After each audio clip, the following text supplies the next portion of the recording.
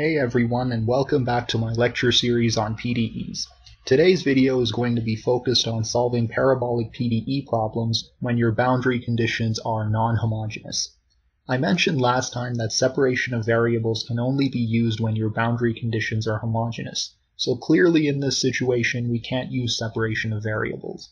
However, you'll see that we do end up using separation of variables eventually, but after we've converted the boundary conditions to a homogeneous form. So let's get started.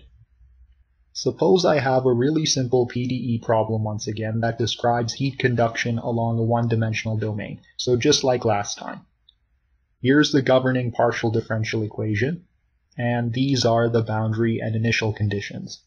The only difference from the previous problem we did is that the boundary conditions on U aren't both zero, now, before I get to solving this PDE, I'm going to step aside a bit and give you an intuitive idea of the technique we'll end up using. If I draw a graph of u versus x, then it would start looking like the function phi, because that's our initial condition. But as time goes on, the ends of the function phi are going to drift so as to obey the boundary conditions. Eventually, the part remaining in the middle will follow suit in order to get rid of whatever local temperature or concentration gradients are present. So once the system reaches steady state, we get a linear temperature or concentration profile, whatever you're trying to describe with U. Because I know that my steady state profile will be linear and that whatever deviations I get from the steady state profile will be due to transients that result from my initial condition, I can make the hypothesis that my solution for U will be the sum of a steady state solution and a transient solution. The idea is that initially this transient solution has an effect on what U looks like, but as time goes on its effect becomes smaller and smaller until we're only left with the steady state solution. If you're not convinced that my steady state profile for U will be a straight line, then don't worry because I'll prove it to you soon enough. So let's go back to our problem. Our goal now is to determine both the steady state and the transient solutions for U. But notice that the steady state solution we're trying to find only depends on x. There's no time dependence, because it's a solution that results when all the fluctuations in U die out. So if we want to solve for the steady state solution, all we have to do is cross out the time derivative and solve a really simple ODE. Because there's only two derivatives in x in this differential equation, we don't need it to obey the initial condition, because the initial condition occurs at time zero and has no influence on what the solution eventually becomes for infinite time. However, we do need our steady state solution to obey the boundary conditions, because the boundary conditions are present for all times and not just for the initial time point. It's very easy to solve this ODE. If you integrate once, you'll get duss by dx equals c1. And if you integrate it a second time, you'll get uss equals c1x plus c2, which is a straight line, exactly what I said earlier. To find the constants C1 and C2, you just have to apply the boundary conditions. So at x equals 0, u sub ss equals u0. So u0 equals c2, so c2 is u0. And at x equals l, uss equals u sub l. So c1 is u sub l minus u0 over l. So our steady state solution is uss equals ul minus u0 times x over L plus u0. And that's it. We found our steady state solution. Now all that's left is the transient solution, but we don't quite know what equation and what boundary conditions the transient solution has to satisfy, so we'll have to do some work to find the transient subproblem we need to solve.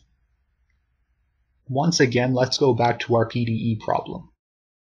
We know from what we said before that the solution U is composed of the sum of a steady state solution and a transient solution. So if we plug this into our PDE, we'll get di u sub ss plus utr by di t equals the second partial derivative of uss plus utr with respect to x. Because the derivative of the sum is the sum of the derivatives, we can split up the terms. Now, we know that the time derivative of USS is zero because USS corresponds to the steady state time independent solution. We also know that its second derivative with respect to x is 0 because that's the equation we originally solved to get USS. All we're left with is a PDE just for the transient solution. which is the exact same PDE we had for u. So that's convenient, but what about the boundary and initial conditions? If we plug our u into the boundary conditions up here, then we'll have USS at x equals 0 plus UTR at x equals 0 equals U naught. But our steady state solution already satisfies this boundary condition. So since USS at x equals 0 is U naught, the value of the transient solution at x equals 0 is just 0.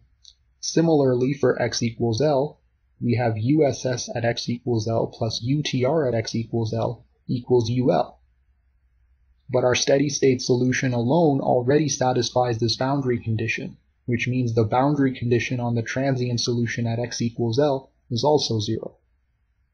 Now that just leaves us with the initial condition. If we plug in our u, we'll see that USS at t equals 0 plus UTR at t equals 0 equals phi of x, which means our transient solution will have the following initial condition after we substitute USS and subtract it from both sides. To make things simple, I'm going to denote this function as psi of x. So overall, our transient subproblem is given by this PDE, these two boundary conditions, and this initial condition.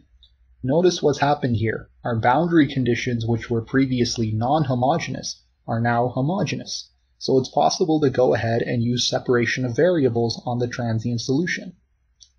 I'm not going to actually be doing that because the process is very similar to what we covered in the last two videos. In fact, the equations are almost exactly the same. So if you want to go through the separation of variable process, I'd recommend going back and watching those two videos. I'll put the links up in the description. Anyway, after you use separation of variables on the transient solution, here's what you'll end up with for the full solution u. A steady state solution plus a rather long transient solution. Notice that as time approaches infinity, this exponential in the transient solution vanishes, and the entire transient solution goes away, and we're just left with the steady state straight line. And that's it. You've now solved your first PDE problem with non-homogeneous boundary conditions. I'll see you in the next video.